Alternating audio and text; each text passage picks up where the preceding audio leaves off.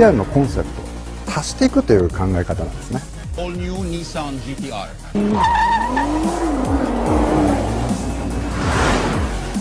我々は今までこちらの横軸 R のゾーンをきっちりやってきました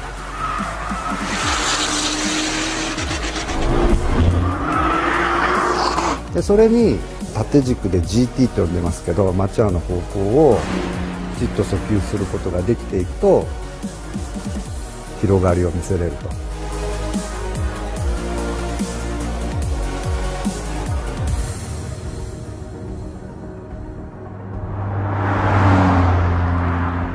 より多くのお客様に GTR というものを理解してもらえると。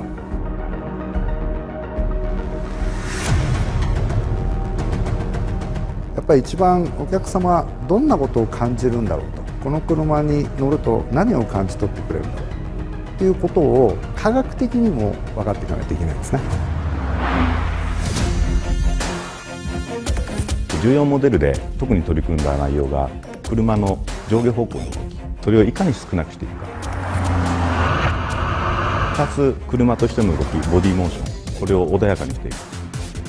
ただしそうは言っても GTR ならではの速さは決して譲らない。だから上下動がコントロールできるようになってくると陽の動きとか横の動きみたいななんとかしないといけないねと。今回取り組みましたのが2つございます。1つ目はサスペンション。タイヤ含めたサスペンションの刷新。もう一つはパワーをいかに路面に伝えるか。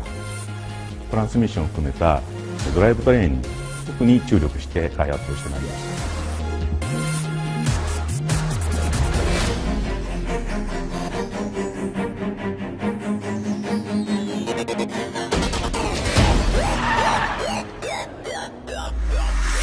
今の GTR のパフォーマンスというのはある意味ベンチマークだというふうに思っています。一つの高み一つの山を登っていってここが頂上だと思った。なんですがそこの高みを見に行ったらまだもう一つ見えたと。常にこの進化を追い続けるというのが GTR であり日産の姿勢であると。